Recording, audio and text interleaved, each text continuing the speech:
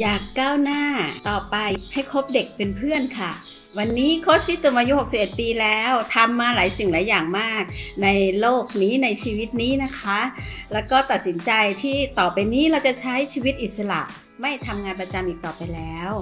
แล้วเราก็เลือกที่จะเรียนออนไลน์ แล้วก็จะมามีชีวิตเดินหน้าต่อไปในโลกออนไลน์ ซึ่งเป็นโลกของคนยุคใหม่ ยุคปัจจุบันและอนาคตนะคะ แล้วคนที่โค้ชพี่ตุ่มเลือกเรียนด้วยเนี่ยก็เป็นรุ่นลูกเลยนะคะ เพราะฉะนั้นจากสิ่งนั้นเนี่ยทำให้เกิดแรงบันดาลใจ ให้พี่ตุ่มมาเปิดเพจของตัวเอง โดยใช้ชื่อว่าโค้ชพี่ตุ่ม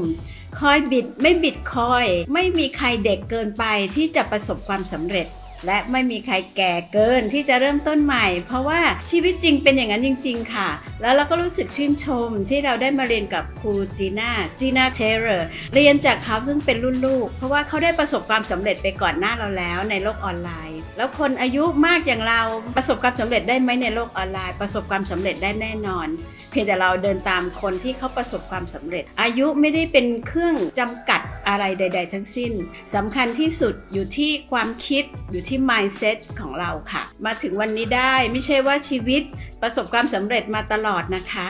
เราล้มลุกคลุกคลาน แต่ว่าเราเรียนรู้จากประสบการณ์ในอดีต แล้วเราก็ก้าวต่อไป ความทุกข์สิ่งผิดพลาด จริงๆ แล้วมีคนบอกว่าชีวิตนี้ไม่มีความผิดพลาดค่ะ มีแต่บทเรียน แล้วเราใช้บทเรียนนั้นมาเป็นเครื่องที่จะช่วยเราที่จะก้าวต่อไปในอนาคต ติดตามเพจโค้ชพี่ตุ่มคอยบิดไม่บิดคอย ไม่มีใครเด็กเกินไปที่จะประสบความสำเร็จ และไม่มีใครแก่เกินที่จะเริ่มต้นใหม่ค่ะ